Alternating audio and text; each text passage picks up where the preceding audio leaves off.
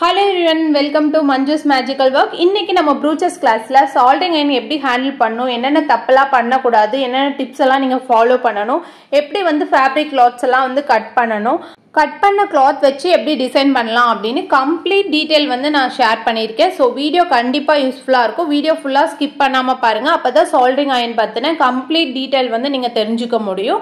Tip number one soldering iron use பண்ணி work பண்ணும்போது fan எப்போவுமே ஆஃபில் தான் இருக்கணும். டிப் நம்பர் டூ உங்கள் வீட்டில் வந்து கிட்ஸ் இருந்தாங்கன்னா நீங்கள் சால்ட்ரிங் அயன் கிட்ட வந்து கிட்ஸ் அலோவ் பண்ணக்கூடாது. ரொம்ப கேர்ஃபுல்லாக வந்து நீங்கள் பார்த்துக்கணும் சால்ட்ரிங் அயனோட எட்ஜஸும் ரொம்ப ஷார்ப்பாக இருக்கும். சால்ட்ரிங் அயனில் ஹீட்டும் வந்து ரொம்ப ஜாஸ்தியாக இருக்கும். ஸோ கிட்ஸ் வந்து இருந்தாங்கன்னா ரொம்ப கேர்ஃபுல்லாக வந்து பார்த்து ஒர்க் பண்ணுங்கள் டிப் நம்பர் த்ரீ நம்ம ஒர்க் பண்ணிட்டு இருக்கும்போது சால்டிங் அயன்லேருந்து புகை வரும். ஸோ புகை செட் ஆகாதவங்க மாஸ்க் போட்டுட்டு ஒர்க் பண்ணுங்கள் டிப் நம்பர் ஃபோர் சால்டிங் அயனை எப்பவுமே இந்த மாதிரி ஒரு உடன் பிளேட் மேலே தான் நீங்கள் பிளேஸ் பண்ணணும். இல்லைன்னா சால்டிங் அயனுக்குன்னு ஒரு ஸ்டாண்ட் இருக்கு. அந்த ஸ்டாண்டில் தான் நீங்கள் வைக்கணும்.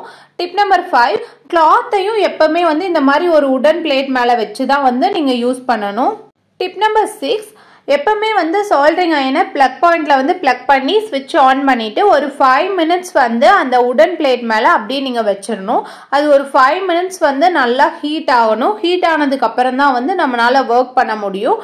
Tip number seven soldering and place பண்ண இடத்துக்கிட்ட எந்த திங்ஸும் வந்து வைக்காதீங்க. கிளாத் எல்லாம் வச்சிங்கன்னா கிளாத் வந்து டேமேஜ் ஆக சான்சஸ் இருக்குது அந்த ஹீட்னால எப்போவுமே நம்ம ஒர்க் பண்ணக்கூடிய கிளாத்தையும் ஏதோ ஒரு உடன் ஃப்ரேம் மேலே வச்சு தான் ஒர்க் பண்ணணும். நான் வீட்டில் இருக்க ஒரு சப்பாத்தி கட்டை வந்து யூஸ் பண்ணிக்கிறேன். உங்ககிட்ட உடன் ஃப்ரேம் இருந்துச்சுன்னா நீங்கள் அதை யூஸ் பண்ணிக்கலாம்.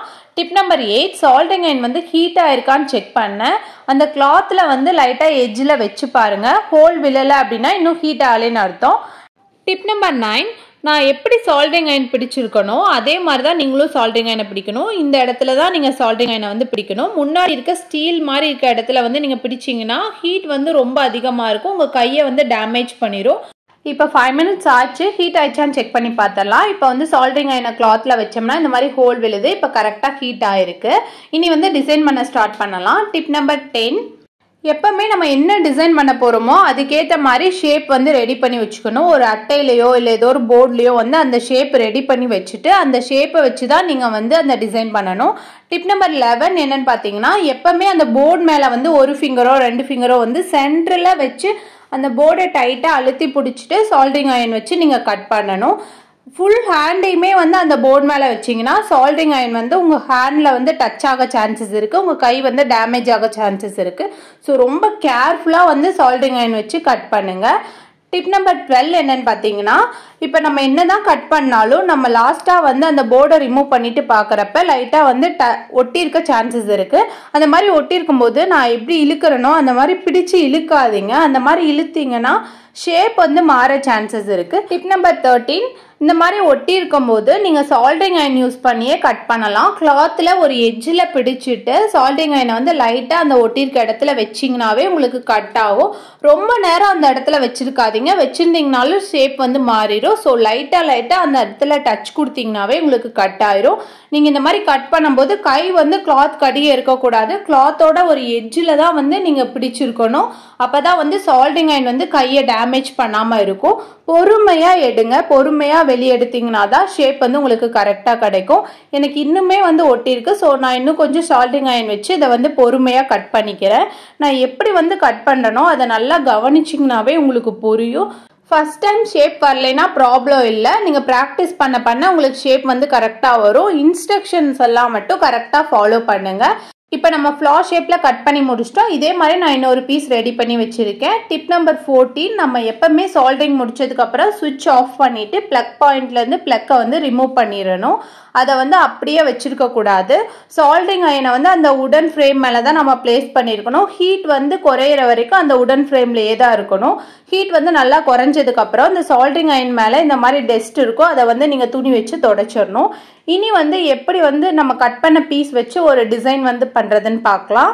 இதுக்கு நான் சாட்டின் கிளாத்தில் ரெடி பண்ணி வச்சுருக்க ரெண்டு ஃப்ளார் ஷேப்பில் இருக்க கிளாத்து அப்புறம் வந்து ஒரு போலன் ஃப்ளாரில் இருக்க ஒரு பீஸு அப்புறம் ஒரு பட்டர்ஃப்ளை சாம் எடுத்திருக்கேன்.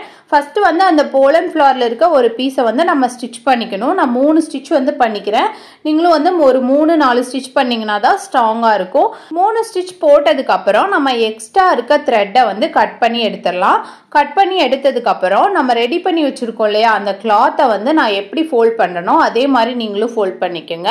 ஃபோல்ட் பண்ணிங்கன்னா உங்களுக்கு ஒரு சைடில் பட்டர்ஃப்ளை ஷேப் மாதிரி கிடச்சிரும். அதை வந்து நம்ம போலன் ஃப்ளவர் ஸ்டிச் பண்ணி வச்சுருக்கோம் இல்லையா? அது மேலே வச்சு நம்ம ஸ்டிச் பண்ணணும்.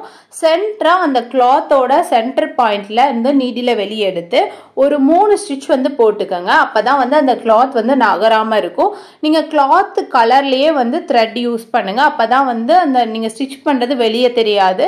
டிஃப்ரென்ஷியேட் பண்ணி காட்டணுங்கிறக்காக தான் நான் ஒயிட் த்ரெட் வந்து யூஸ் பண்ணியிருக்கேன். நீங்கள் எப்போவுமே வந்து கிளாத் அந்த நம்ம ரெடி பண்ணி வச்சுருக்கோம் இல்லையா பெட்டல் அந்த ஷே அந்த கலர்லேயே தான் நீங்கள் த்ரெட் வந்து யூஸ் பண்ணணும். அப்போ தான் ஸ்டிச் வந்து வெளியே ரொம்ப ஆடாக தெரியாது. இப்போ வந்து மூணு ஸ்டிச் போட்டுக்கலாம். மூணு ஸ்டிச் போட்டதுக்கப்புறம் இன்னொரு கிளாத் ரெடி பண்ணி வச்சுருக்கோம் இல்லையா அந்த கிளாத்தை வந்து நான் எப்படி ஃபோல்ட் பண்ணுறேனோ அதே மாதிரி நீங்களும் ஃபோல்ட் பண்ணிக்கோங்க. ஃபோல்ட் பண்ணிவிட்டு நம்ம ஸ்டிச் பண்ணிடணும் இதையும். இப்போ வந்து பட்டர்ஃப்ளைக்கு இன்னொரு சைடில் வச்சு நம்ம ஸ்டிச் பண்ணிக்கலாம். அதே மாதிரி சென்டராக வந்து ஸ்டிச் பண்ணுங்கள் மூணு ஸ்டிச் வந்து இதுலேயும் வந்து கண்டிப்பாக நீங்கள் வந்து ஸ்டிச் கொடுக்கணும். அப்போ தான் வந்து அந்த கிளாத் வந்து உங்களுக்கு ஸ்ட்ராங்காக இருக்கும். மூணு ஸ்டிச் கொடுத்ததுக்கப்புறம் சென்டரில் வந்து இந்த மாதிரி பட்டர்ஃப்ளை சாம் வந்து நான் யூஸ் பண்ணுறேன் நீங்கள் பீட்ஸ் யூஸ் பண்ணிக்கலாம். சென்டரில் வந்து உங்களுக்கு என்ன வேணுமோ அந்த மெட்டீரியல் வந்து நீங்கள் யூஸ் பண்ணிக்கலாம். நான் பட்டர்ஃப்ளை சாம் வந்து யூஸ் பண்ணுறேன் த்ரெட்டு வெளியே எடுத்துகிட்டு பட்டர்ஃப்ளை சாமில் வந்து நீடில் இன்சர்ட் பண்ணி த்ரெட்டை வந்து வெளியே எடுத்துகிட்டு மேலே நீடில் வச்சு த்ரெட்டை வந்து அடியில் இழுத்துட்டோம்னா நமக்கு பட்டர்ஃப்ளை சாம் வந்து ஸ்ட்ராங்காக நின்றும் நீங்கள் இதுலேயுமே வந்து நீங்கள் ரெண்டு மூணு ஸ்டிச் வந்து கொடுக்கணும். அப்போ தான் பட்டர்ஃப்ளை ஸ்ட்ராம் வந்து ஆடாமல் இருக்கும். இப்போ நம்ம கம்ப்ளீட் பண்ணிட்டோம். இது மேலே வந்து நான் டியூப் பீட் கொடுத்துருக்கேன். பீட்ஸ் வந்து நீங்கள் யூஸ் பண்ணிக்கலாம். இந்த மாதிரி நீங்கள் என்ன வேணால் டெக்கரேட் பண்ணிக்கலாம். இந்த வீடியோ உங்களுக்கு யூஸ்ஃபுல்லாக இருந்துச்சுன்னா கமெண்ட் செக்ஷனில் உங்களோட ஃபீட்பேக்கை ஷேர் பண்ணுங்கள் இந்த வீடியோ உங்களுக்கு பிடிச்சா லைக் பண்ணுங்கள் ஷேர் பண்ணுங்கள் மறக்காமல் சப்ஸ்கிரைப் பண்ணுங்கள் தேங்க்யூ